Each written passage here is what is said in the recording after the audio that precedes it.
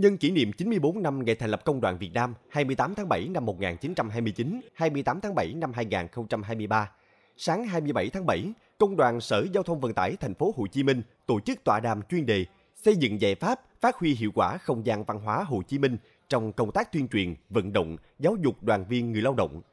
Ban tổ chức ghi nhận được 23 ý kiến của 11 đại biểu về việc xây dựng không gian văn hóa gắn với cuộc đời sự nghiệp của Chủ tịch Hồ Chí Minh. Đồng chí Dương Xuân Sơn, Chủ tịch Công đoàn Sở Giao thông Vận tải Thành phố Hồ Chí Minh đánh giá cao các ý kiến đóng góp của các đại biểu.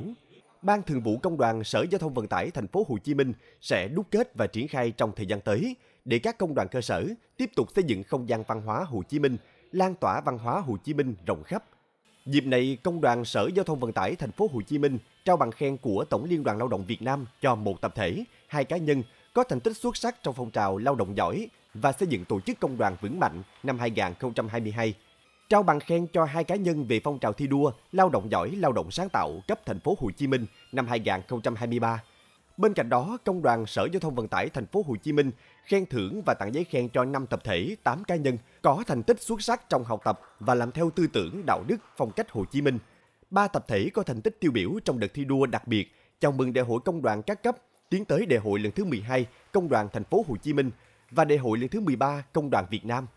7 tập thể, 12 cá nhân đạt thành tích nổi bật trong hoạt động tháng công nhân lần thứ 15 năm 2023. 4 tập thể xuất sắc trong việc tham gia hưởng ứng tháng hành động về an toàn vệ sinh lao động năm 2023. Đồng thời, hưởng ứng hội thi trực tuyến Công đoàn thành phố Hồ Chí Minh niềm tin của người lao động. Công đoàn Sở Giao thông Vận tải thành phố Hồ Chí Minh tổ chức điểm thi trực tuyến đợt 3 với chủ đề Vinh quang Công đoàn Việt Nam cho 60 cán bộ công đoàn chủ chốt, đoàn viên người lao động, Sở Giao thông Vận tải thành phố Hồ Chí Minh cùng tham gia làm bài.